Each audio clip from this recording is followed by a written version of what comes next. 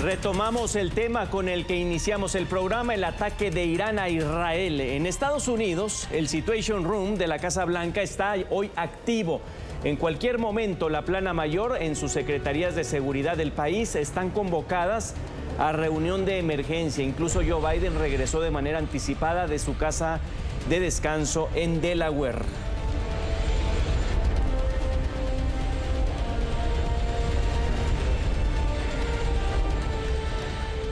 Manuel Camilo González, analista internacional, profesor de la Universidad Javeriana en Bogotá. Bienvenido a NTN 24. Buenas tardes, Enrique. Muchas gracias por la invitación y un saludo para la audiencia. El mundo atento eh, parece que con sorpresa a lo que está sucediendo, los drones surcan en los aires de varios países, de Jordania, de Siria, de Irak, para llegar a Israel en cualquier momento, programados de hecho ya en una hora aproximada. Eh, pero Manuel Camilo em, no toma muy por sorpresa a Israel. Ya Netanyahu había dicho, estamos preparados por todo porque Irán está muy enojado. Sí, ciertamente Israel y los Estados Unidos ya tenían una información de primera fuente que efectivamente eh, Irán iba a responder de manera contundente. Ciertamente las declaraciones eh, del gobierno iraní daban una sensación de que efectivamente esta respuesta iba a llegar en cualquier momento, pero que los antecedentes históricos de alguna forma también eh, desvirtuaban, porque efectivamente ha existido una guerra eh, en las sombras de que efectivamente entre Israel e Irán se han hecho asesinatos selectivos de miembros importantes de cada uno de estos gobiernos, incluso organizaciones muy relacionadas a ellos, pero también incluso Irán ha promocionado una guerra por delegación, es decir, alentando a grupos eh, armados no estatales a atacar a Israel. Por lo tanto, eh, toma por sorpresa incluso a los analistas en términos de decir que efectivamente Irán está respondiendo de una manera eh, totalmente diferente a lo que de alguna forma el patrón nos estaba revelando. Este alto mando militar Hagari dice, junto a aliados ya estamos actuando. Israel dice, junto a aliados actuando. Es decir, eh, de, qué manera vaya, porque escuchamos las condenas incluso de la Unión Europea de última eh, hora, pero están atentos en todos lados. Sí, así es. Eh, creo que lo que está sucediendo con Irán es que efectivamente ha llegado un límite que, de que Israel ya no puede de alguna forma actuar de una manera con mucho más margen frente a objetivos que están en Irán y que efectivamente esto también está relacionado con que el, el control que se ejerce incluso por, por, la guerra de delegación de alguna forma ha generado una serie de consecuencias inesperadas. Eh, aquí un poco hablando incluso del derecho internacional, eso también supone un gran desafío porque efectivamente el ataque fue en Siria y no en Irán, pero las embajadas son territorio iraní en Siria. Entonces esto supone un poco hasta qué punto también Siria tiene una responsabilidad de proteger en su propio territorio las embajadas, pero incluso cuál es la responsabilidad que tiene Israel a la hora de atacar una embajada en un tercer país. Entonces, eso también coloca mucha presión sobre qué justificación jurídica internacional supone un poco tanto el ataque israelí a las embajadas, pero también el ataque que va a realizar Irán eh, y obviamente su justificación internacional.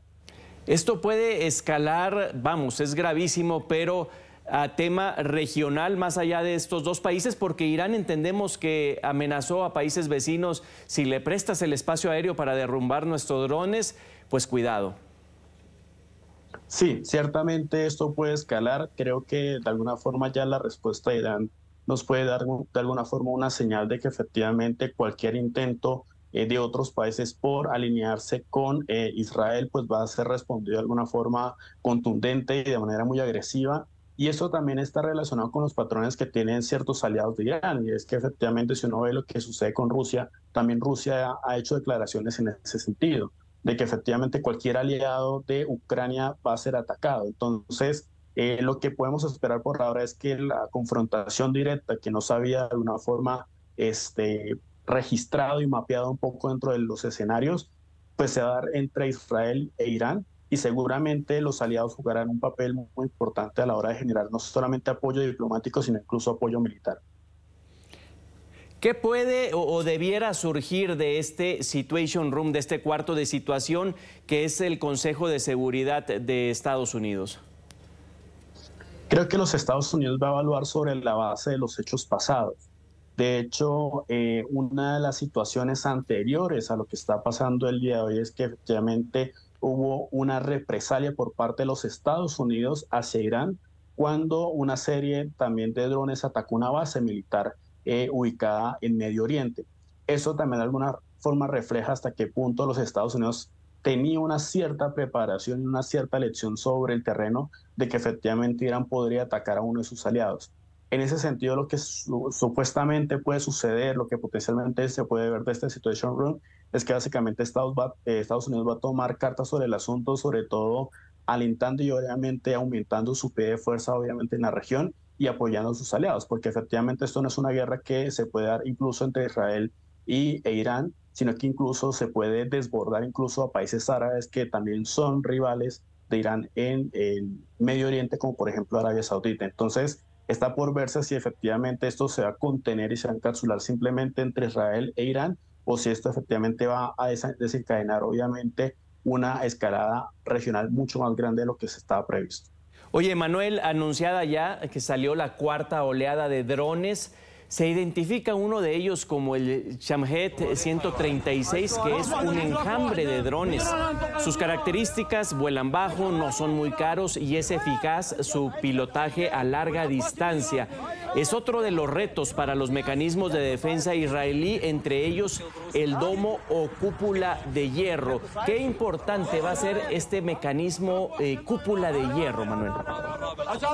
Bueno, la cúpula de hierro está muy eh, entrenado y de alguna forma está diseñado para contener los ataques por parte de misiles. En ese caso, el gran desafío va a ser hasta qué punto las defensas aéreas, antiaéreas, perdón, de Israel van a ser capaces de contener a los drones iraníes. Y hay que tener en cuenta algo. Yo creo que la decisión también de Irán pasa por hasta qué punto la preparación de este mismo ataque en términos de entrenamiento, de utilizar incluso Ucrania como un campo de experimentación con los drones, pues va a ser útil en razón de que efectivamente una guerra no convencional en términos de sus armas pues va a ser efectivo para debilitar las defensas eh, israelíes. Entonces supone un gran reto en términos de que la cúpula de hierro está diseñada para los misiles, que de hecho también está programado un poco este ataque por parte de Irán, pero tal vez lo más eh, importante y lo que puede generar una suerte de diferenciación en este tipo de ataque van a ser obviamente los drones porque son más móviles y obviamente